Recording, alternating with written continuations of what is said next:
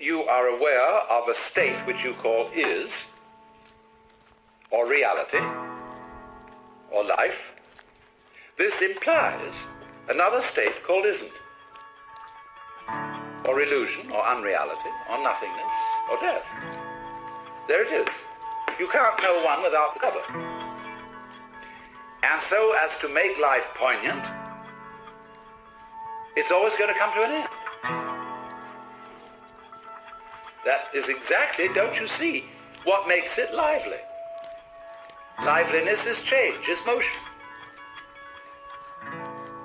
So, you, you see, you're, you're always at the place where you always are. And you think, wowee, a little further on we'll get that.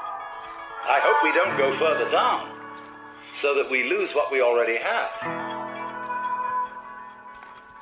But that is built into every creature's situation, no matter how high, no matter how low. So, in this sense, all places are the same place. And the only time you ever notice any difference is in the moment of transition. When you go up a bit, you gain. When you go down a bit, you feel disappointed, gloomy, loss. You can go all the way down to death. Somehow, there seems to be a difficulty in getting all the way up. Death seems so final. Nothingness seems so very, very irrevocable and permanent. But then, if it is, what about the nothingness that was before you started? On the contrary, it takes nothing to have something.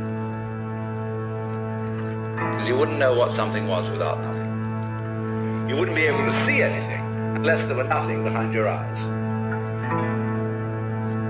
The most real state is the state of nothing.